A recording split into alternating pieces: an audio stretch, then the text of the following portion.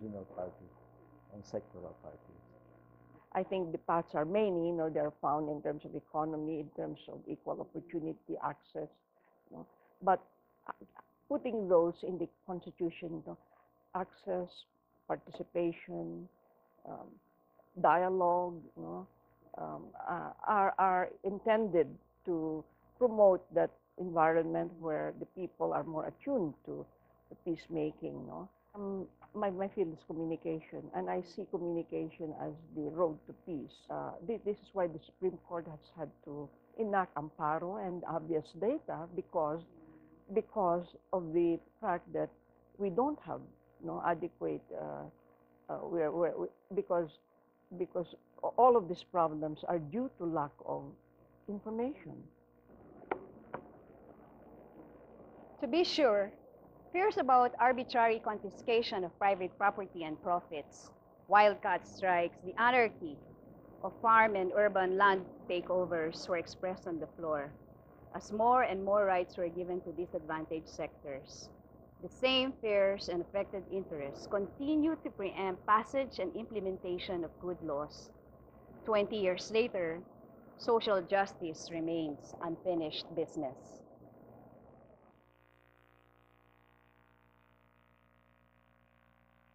Did you know that our Constitution is unique for having the word love?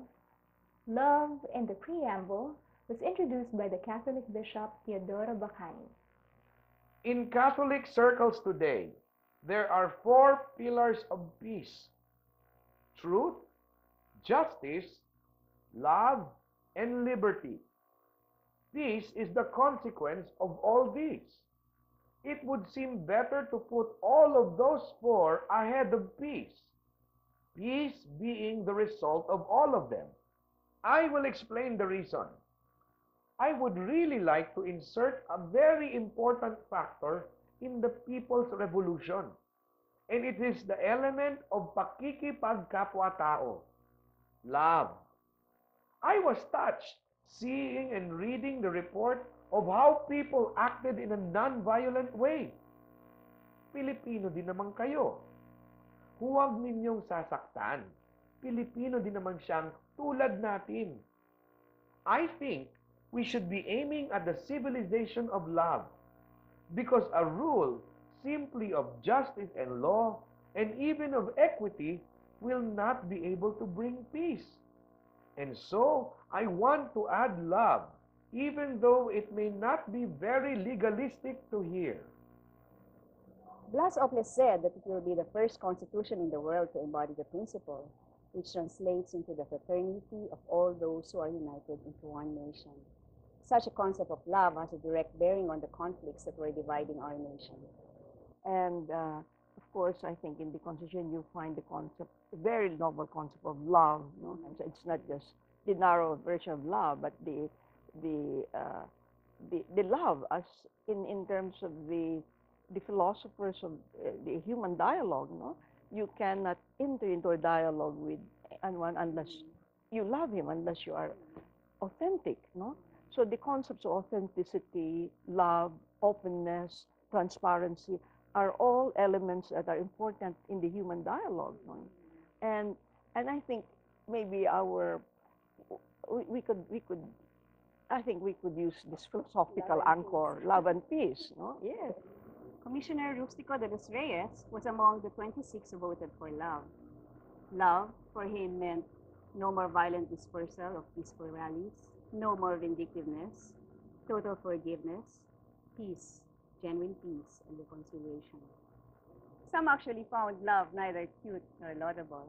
Commissioner Abubakar thought that it sullied the dignity of the Constitution Villacorta argued that we cannot constitutionalize love. Suarez said that the preamble should be devoid of any romanticism. The late filmmaker Lino Brocka said that the word was terribly icky and too prayerfully joyous. Brocka resigned from the commission, arguing he didn't want it in the first place. Several of the 17 no votes and abstentions in the third reading of the preamble actually had something to do with this word love. Hate it or love it? The word love is in the Constitution.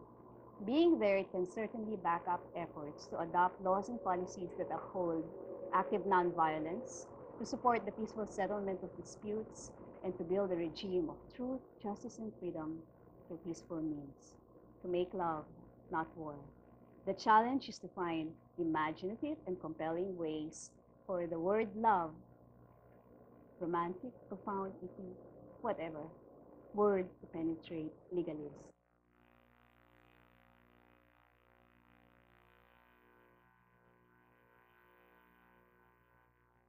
So there was a strong sentiment uh, with respect to two regions that that in the uh, in the deliberations, uh, you know, uh, came out as as distinctive in character, but without compromising sovereignty and territorial integrity. And these were in ARM, Autonomous Region of Muslim Mindanao, and the Cordilleras.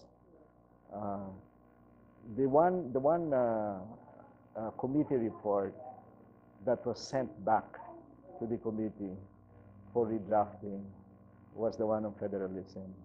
Because the the committee on uh, local government's report was for a federal system of government. And that was not the sentiment of the whole.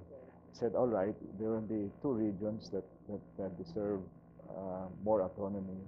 And uh, the principle of decentralization was there in the local government uh, article. But we were not ready for federalism um, because of we're an archipelago and we have different languages and it might be a disunifying rather than a unifying uh, approach. And, and so the unitary form of government uh, was, uh, was the majority sentiment.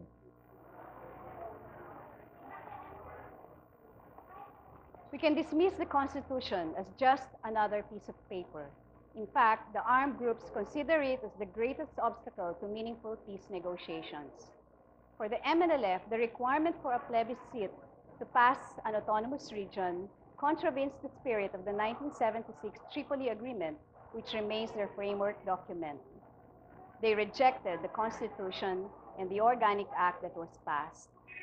For the CPP, they consider themselves outside the ambit of the Constitution and seek the preeminence of their own laws and government. The dream of the MILF for an Islamic state will never pass the separation of church and state clause that has long been entrenched in our constitutional history. To the armed groups, the Constitution has become a straitjacket. This perspective must be recognized in order to be addressed Armed groups, in turn, must accept that the government is constrained to act within the confines of the Constitution.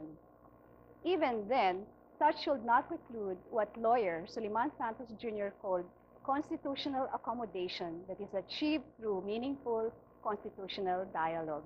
For example, instead of an Islamic state, why not an Islamic system within the system?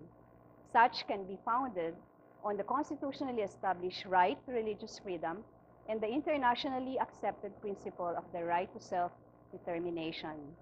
Similarly, the superior claims of the state to national sovereignty can and should be upheld by equally superior values of democracy, social justice, and people's rights.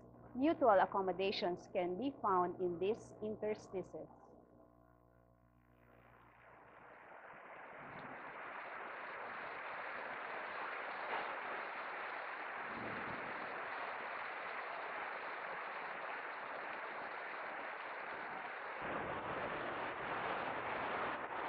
The armed groups, the Constitution is a shackle, but it has also provided them with tools to defend themselves and to exact their just claims.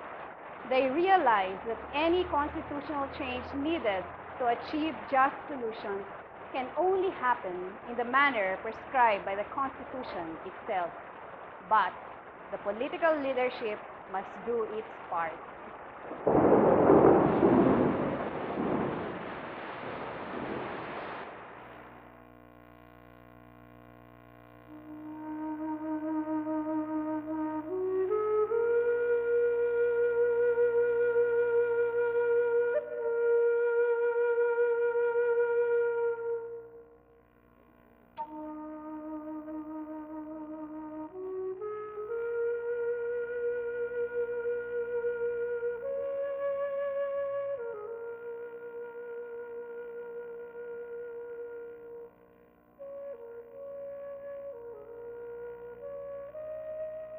Maybe uh, we are not achieving as fast as we had thought uh, social justice uh, and, and not resolving and not resolving old issues um, uh, in these areas.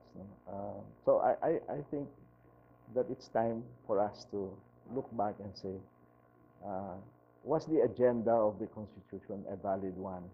I still think the agenda is valid.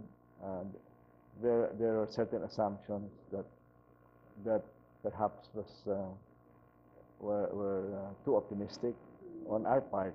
the, that constitution was a product of, of the of the times of the period and uh, we were coming from a dictatorship we were coming out of an experience of um, abuse of military power human rights violations so the imperative for peace was certainly a very strong impulse. A constitution is only as good as the people and its lead and, their leaders uh, kind of uh, you know uh, kind of allow. And and therefore it's it's very important that you know people uh, are not kind of distracted by the mechanics by the forms It's putting flesh, you know, and getting getting some of the uh, younger, more progressive, and more people-oriented congressmen to see, to come up with, you know, using these provisions. Yeah? It's um, yeah. We cannot uh, we cannot have a real democracy without real election, and that's why electoral reform is very important. Uh, it is it is ultimately the alternative option to non-peaceful means. I was a professor of political science, became peace student because of the public hearings, you know. I, it came became very clear to me that that was what we lacked in this country. And that document, in some way, if it was implemented properly, responded. But the Constitution is honored more in the breach. So, if we promote democracy, know, deepen democracy in the Philippines, and then other democracies emerge in the region, Indonesia, Malaysia, Thailand, ultimately, hopefully, Burma, if, if democracy takes root in these countries, or even China, you know, if they, then we won't need to go to war against each other. To me, the struggle for democracy will lead to peace when we actually create mechanisms of democratic accountability, for example, make it real. But what, that's what we don't have right now.